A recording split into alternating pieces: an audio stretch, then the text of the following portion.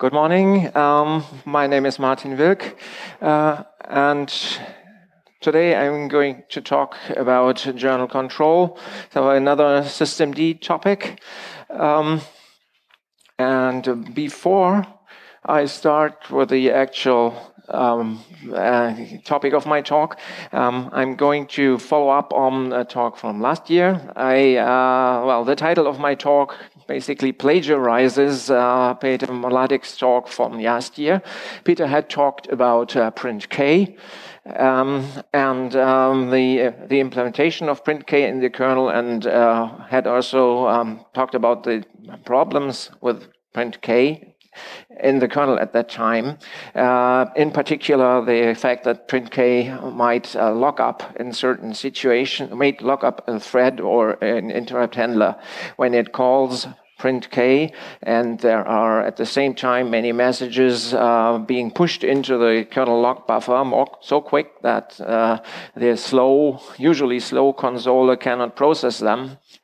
Uh, fast enough, then the first caller is responsible for printing everything to the consoler. That means that this caller may stay there for a very long time uh, and, and uh, push data to the consoler uh, and get effectively stuck. Um, for that, uh, people from SUSE Labs, uh, Jan Kara and Peter, had uh, worked on uh, a patch um, which uh, came under the name of asynchronous printk, which would basically uh, introduce a separate kernel thread uh, dedicated to just to the job of flushing messages from the log buffer to the consoler. Uh, that would, of course, avoid the threads blocking on, on the slow printing, uh, but uh, the patch hadn't been well received upstream. There were there was strong opposition, uh, in particular because people thought that that separate thread might not get scheduled in critical situations, panic or sudden death scenarios, and would fail to print the messages that would, would be vital to see for developers for analyzing to the consoler. And so that patch uh, never made it really upstream. We had them, the, we had this patch in uh, SLES 12, SP2 and 3. Um, but uh, this year, Upstream got uh, its own solution, which we also now have in SLES 15 and SLES 12 SP4 too. Um, the patch was called printk add console owner and waiter logic uh, to load balance console writes. And uh, well, the idea is um, that if one process is busy writing stuff to the consoler and then another process wants to push a message out, it sort of volunteers take, to take that over that job by say, uh, well, it, doesn't really volunteer. I think it has to, but so the, it takes over the job, and the first thread can stop flushing stuff to the console. It can take over its uh, ordinary work again, and then the second thread flushes until someone else comes and he takes. So the the console uh, log flushing is passed on from uh, one thread or one caller, let's put it that way, uh, to the other. And that means that no single thread uh, can be hung in that flushing uh, work uh, for an indefinite time. So um, it, it, does not prevent all theoretically possible scenarios, uh, but uh, lockup scenarios, but it has uh, been shown uh, to be helpful in the practical problems that had been seen so far.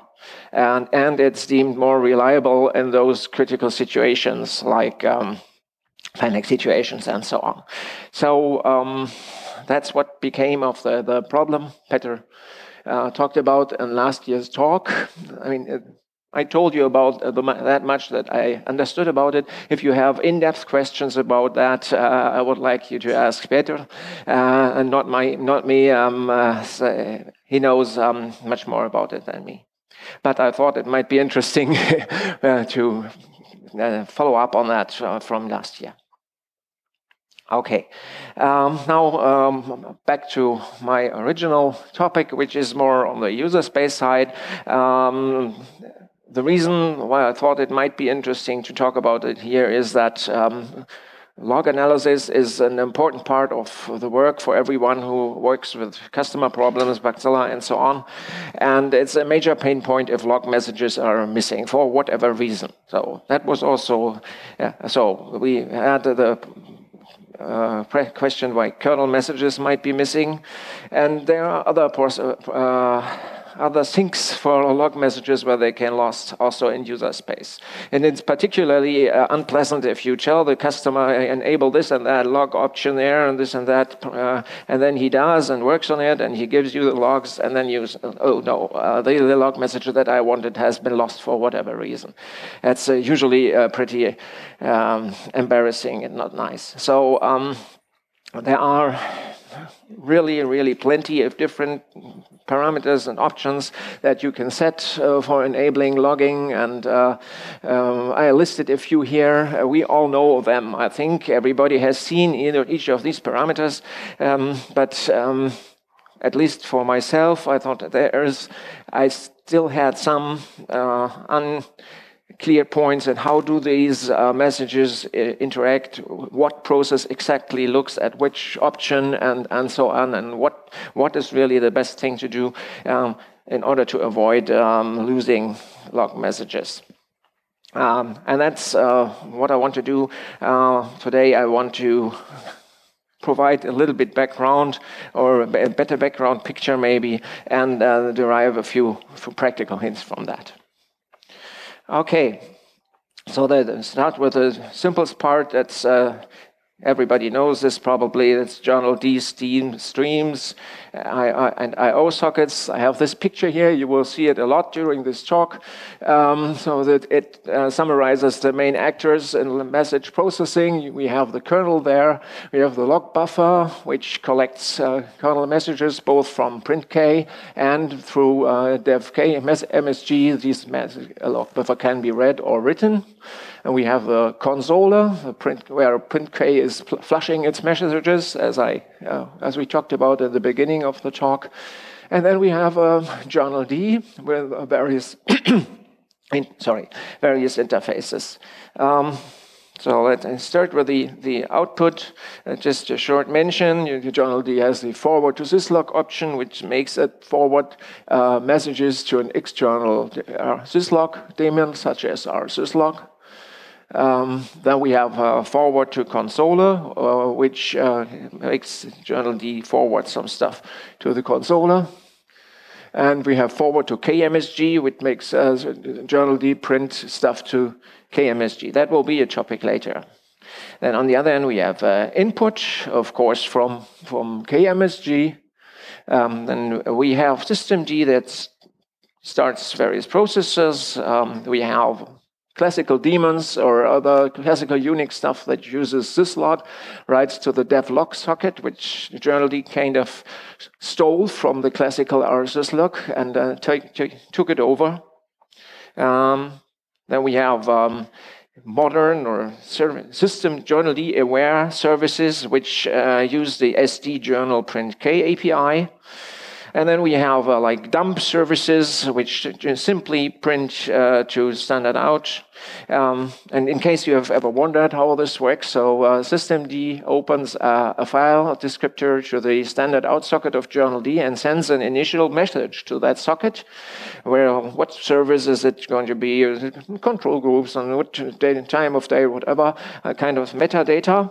And then uh, it simply starts uh, that service uh, with standard out, standard error connected to that so socket, to that file descriptor, so that journalD now has can, can capture the output and still knows uh, some additional information about the service it's logging. That enables uh, journalD to add uh, tags and, and save the stuff in a structured way.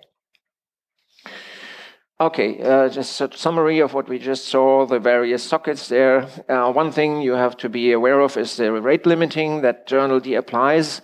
Uh, uh, so um, if more message, more than 1,000 messages arrive in a 30 seconds time interval by default, then that service will be throttled. The log messages will be throttled. It's quite a high limit, obviously, but sometimes uh, it's exceeded. So uh, then in this case, it's necessary to set this, these values to zero zero. Okay, then we have the various forwarders, mentioned them all except uh, which, uh, well, we know that it's for emergency messages printed to all terminals. Okay, then uh, next is uh, the log targets of systemd, so PID1 and the various other programs from systemd suite. So um, again, the same picture. Now we have systemd here, and um, it can log its own log messages to various uh, places. So we have this one, we have the console log target, we have the KMSG log target, we have the journal log target. And there are other daemons. Oh, sorry, no, uh, this one. Yeah, we have uh, the, a different type of messages, which is not log messages, and they, they are called status messages. More about that later, which are only printed to the consoler. Um, and then we have other daemons from the systemd suite, like system user instances or login D or network D, uh, host name D, you name it. Uh, they all have the same approach to logging. And um, these have the same targets, so they, uh, they also evaluate the same command line options and environment variables as systemd itself. So they have the log, journal log target, they have the console log target, they have the KMSG log target, and they have the syslog log target. So this one is a little special because systemd itself, if it's running as PID1, does not cannot use it. That's for obvious reasons because uh, in that at that time the rsyslog daemon is usually not running, so systemd can't use this this log target. Okay, uh, summary of that. Uh, yeah, we have these basic types, uh, console, KMSG journal, and syslog. And it, the daemons always use only one at, at any time. So the message will only go to one of these targets. Um, and then there are these combined ones, such as Journal or KMSG. I've been wondering for some time how it actually works. So the, this is how it works. It tries the journal, and if that doesn't work for whatever reason, if an error is uh, returned, then it falls back to KMSG. But not forever. Usually it, uh, it retries to, when it receives an event that something has changed, it retries the journal and usually will will be able to switch back to the journal. I come back to that later. Then we have the possibility to configure the log targets. Um, and there's a, a hierarchy of uh, precedence. The first precedence is the daemon command line, then the environment variables. Next is the proc command line, and finally the configuration, for example, in the systemd systemconf. And it's kind of curious if you look at these options how the systemd developers uh, manage to have a different spelling, different uh, capital and small characters every time. So just to make easy, life easier for all of us to remember stuff easier, right? Okay, so um, yeah, uh, about status messages, I mentioned them already. So they they are not log messages; they are sent to the consoler independent of logging seconds. So we have all seen them. It's this stuff like starting X, stopping, mounted, this this stuff. And um, these messages, starting, stopping, are also in the logs. They are duplicated. But then there are others, uh, the notorious messages, which we all know if a system doesn't come up. It's like a start job is running for whatever and repeating all the time, usually unreadable. Um, these are not duplicated to the logs. You won't find them there.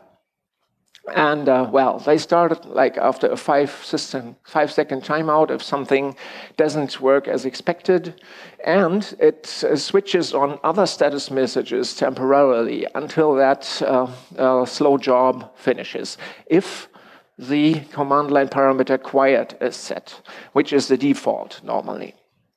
So um, the, you can influence these messages with the command line parameters quiet and systemd.show status um, where quiet is not the same as systemd.show status zero uh, because of what I just mentioned. So if you say, if you uh, switch off the status messages with the show status uh, parameter, then uh, the, the uh, start job is running for will still be displayed, but will, they will not activate uh, other messages. And then there's another thing, uh, these status messages can be enabled at runtime by sending a real-time signal to systemd.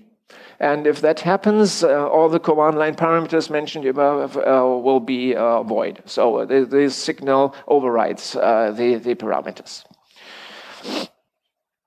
Okay, one word, and that's in that context I need to mention Plymouth. Um, it does not have the best reputation here at SUSE. Um, well, I have a problem here. Uh, ah, okay.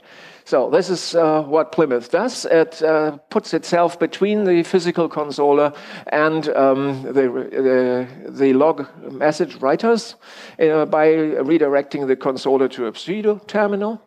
And so it catches everything that is written to the consoler and um, depending on its own configuration, forwards it to the physical consoler and uh, or not. And later, when the boot uh, is finished, writes the stuff uh, to the file boot.log. So, um, so and it also sends the mentioned real-time signal to systemd, which will cause which will cause systemd to write the status messages. Interestingly, that happens when the splash is activated. So you actually your screen goes dark, you get a funny picture, and at the same time, systemd is starting logging messages which you don't see, right? Um, so yeah, that's what uh, Plymouth does. Um, it's actually not that bad, I think. For some applications, it's quite good because uh, it gives you that file varlog boot.log. Uh, at, at, least in those cases where you are able to retrieve that file, it might be helpful sometimes. Um, yeah, then it, it sends the real-time signal to systemd when it's showing the splash, not earlier. So that's usually five seconds after boot. I don't know why that is so, but uh, you may know it. When you start the system, you see some messages for some time, even in user space, and then you see the, the funny picture, which is five seconds after the start of, of Plymouth. And um, that means that uh, the messages, status messages from systemd are only captured from that time on, so five seconds after boot, not earlier by default. Um, so um, Plymouth again has options. Plymouth.enable equals zero is quite popular here at SUSE, I think, and it's uh, it is of course the best thing to do when you use the serial consoler and you don't want uh, uh, Plymouth to interfere in any way. Then uh, other interesting options are Plymouth.splash delay zero, which uh, avoids this problem with a five seconds delay. So you will see early messages from systemd or other uh, in varlog boot.log. And then splash.verbose, uh, okay, that will cause Plymouth to uh, forward everything to the physical console. Of course, you can also hit the escape key, which has the same effect, but um, maybe at a later time during boot. Okay. Okay. Um, can you hear me? Yeah. Um, uh, the latest um, method uh, for Plymouth haters uh, and for uh, mainframes uh, is to use blog and blog Plymouth. That's um, yeah bootlog daemon and that writes that boots.log um, still. So um, if you use uh, plymouth.enable equals zero, then you don't get that bootlog. And uh, customers usually want that bootlog, and especially on S390X, uh, they use that alternative. It's available since SLES 12 SP3. It's only S390. Um, there, there it's required, but you can use it for everything, for all CPU architectures. I also use it for my x86-64 machine.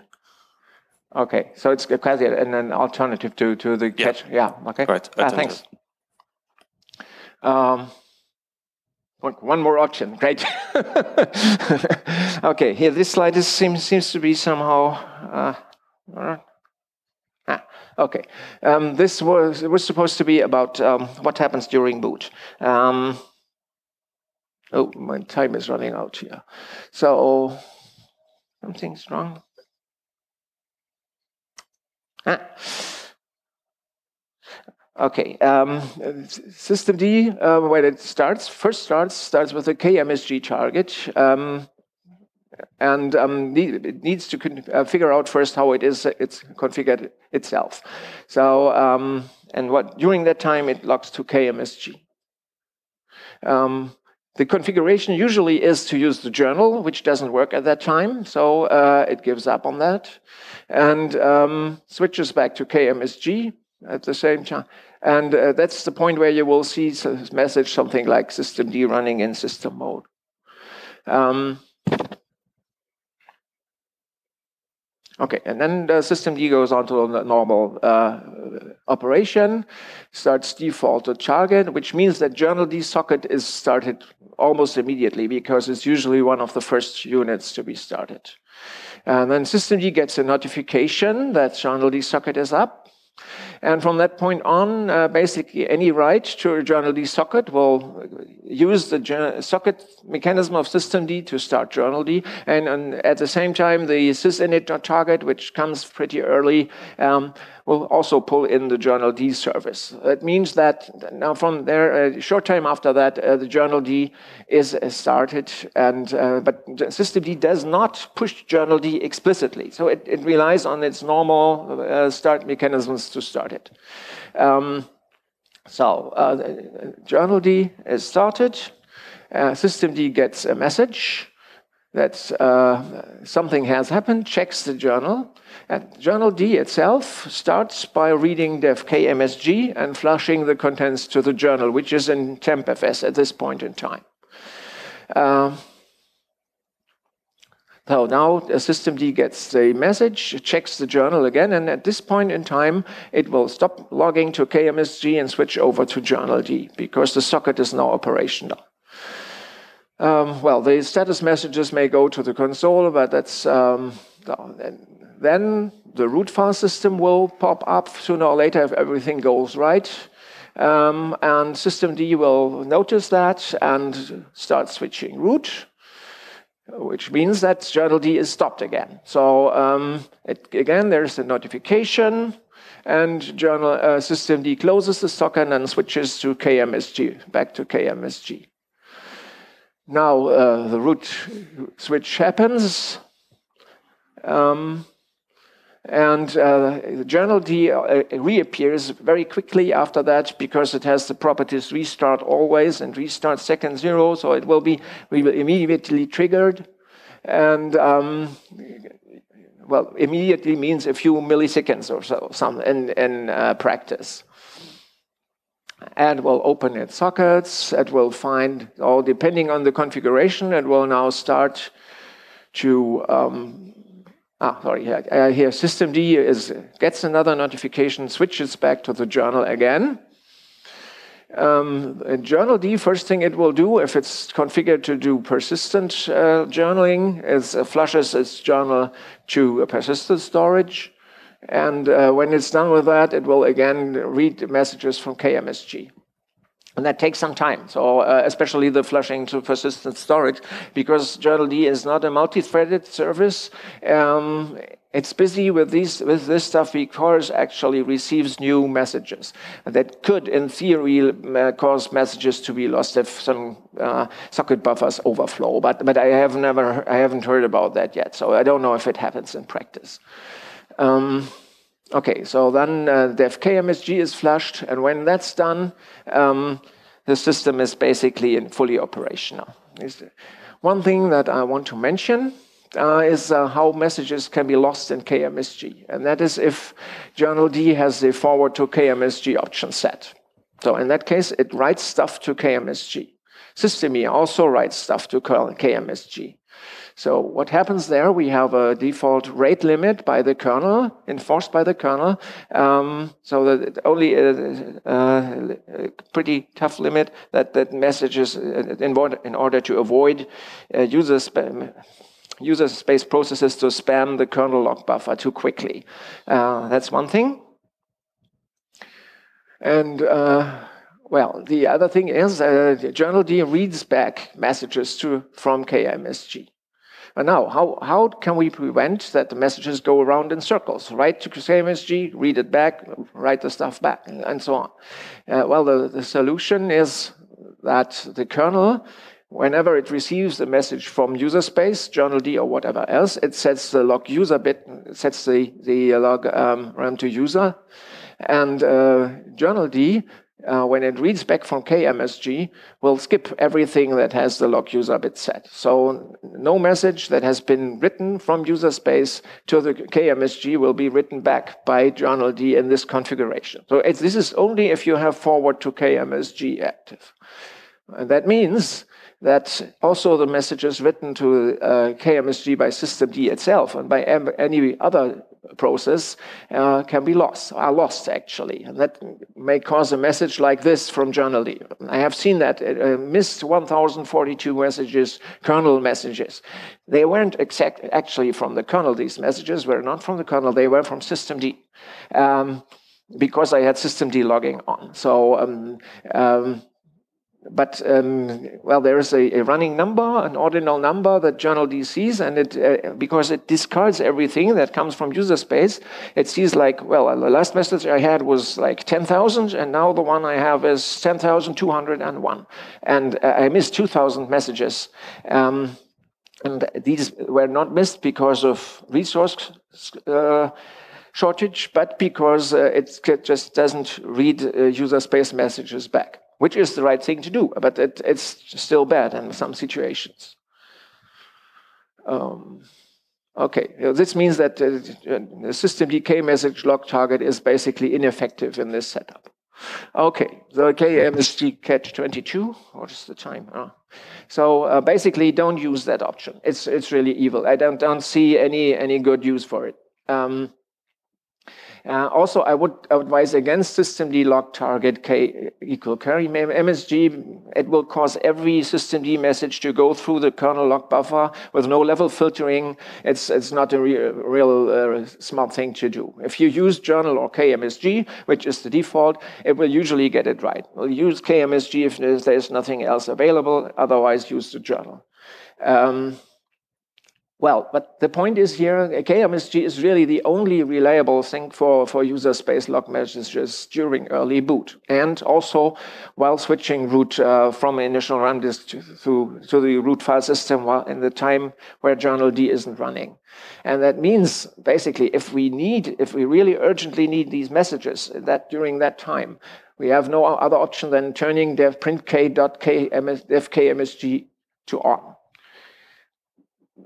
On the other hand, uh, the kernel is, uh, is implemented in the way that one, this can only be set at boot time. There is no way to change this option, and we don't want to have it on all the time to avoid nasty user space, uh, message, uh, space stuff to, to spam the kernel.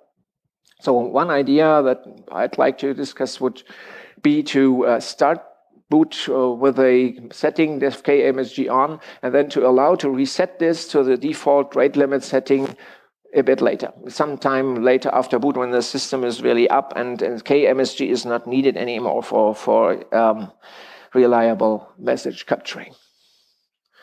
Okay, there's a UDEV. Um, well, that's UDEV logging is, a, is, is, very special. UDEV is also part of the systemd suite, but um, yeah, recently uh, systemd has introduced uh, two so-called log realms, one for UDEV, one for the rest.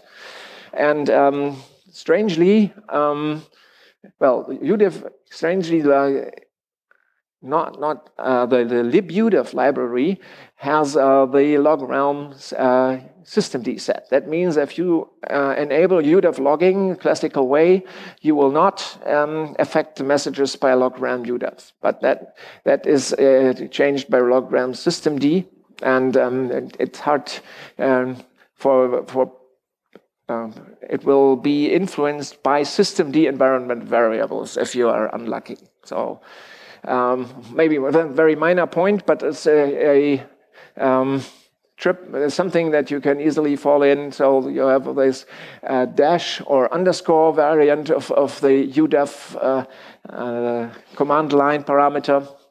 And I would uh, use, recommend using dash here.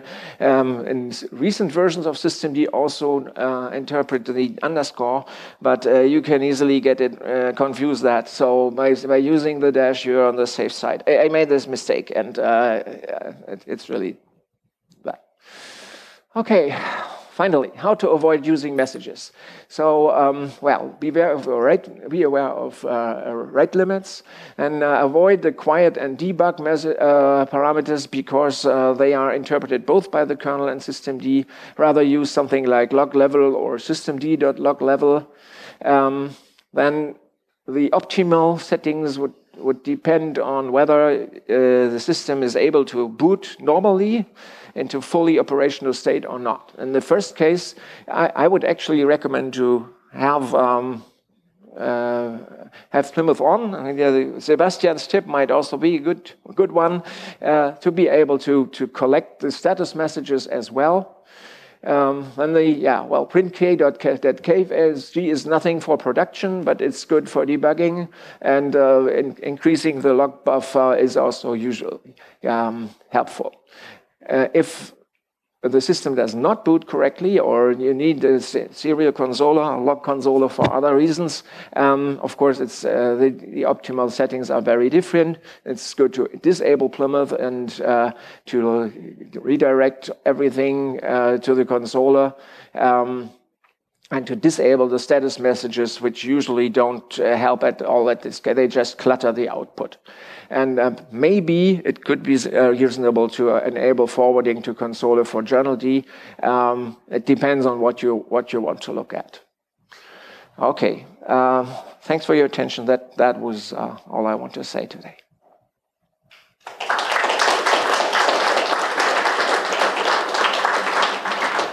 So I've took too much time, but if anybody has a question or remarks.